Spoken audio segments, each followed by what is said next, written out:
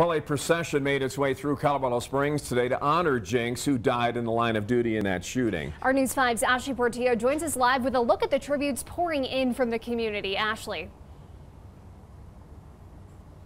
Guys, good afternoon. So Jinx, he was only three years old. He had served the El Paso County Sheriff's Office for two years since March of 2020. So earlier today, as you mentioned, there was a procession held right here in El Paso County. It began at 9.30 this morning over at Animal ER Care off of North Nevada. It ended here at the Sheriff's Office. You had dozens of people from different law enforcement agencies as well as the community that were there to honor Jinx. Now, he was one of four K-9 officers who served with the department. Now, we spoke with Lieutenant James Vidmar, who said uh, this is the first time ever a K-9 officer with the sheriff's office was killed in the line of duty.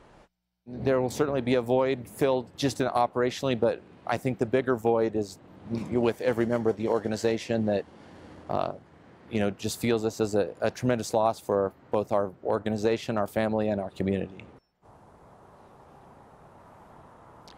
Now, his handler, his name was a Deputy Hancock, and right now the sheriff's office says their thoughts are with Deputy Hancock as well as Jinx's family. So, coming up later in the newscast, we'll have more from the procession and the community who honored K9 Officer Jinx earlier today. We'll also hear more from a volunteer who trained with Jinx for the past few years. In Colorado Springs, I'm Ashley Portillo, News 5.